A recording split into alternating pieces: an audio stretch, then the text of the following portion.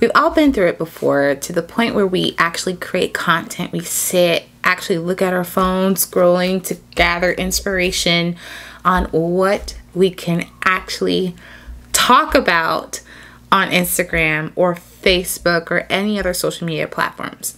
You know it. We've all been there. You have that roadblock in your mind, and you're just drawing a blank as to what it is that you can possibly write about to your audience um, for that day. And one of the things that has definitely helped me in creating content for my audience is I think about one person one person that is like my target audience persona, where I think about her and what it is that she is going through.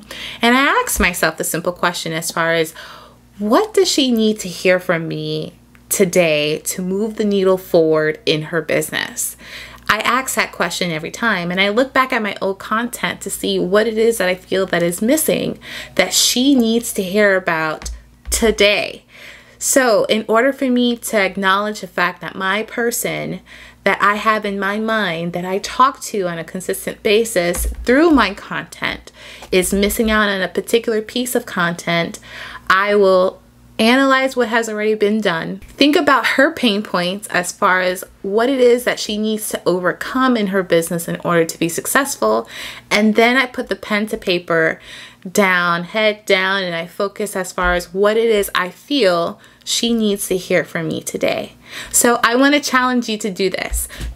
About your target audience, and instead of thinking of a grand audience, I want you to think of one person. It could be he or she, and I want you to think about what their pain points are.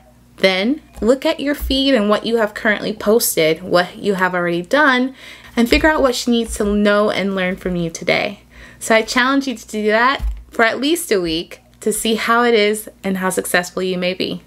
And if you want to have a freebie, I have a guide for you that is helping you build a strategic and profitable brand for you and your business. So grab the link in my bio and I'll chat with you next time.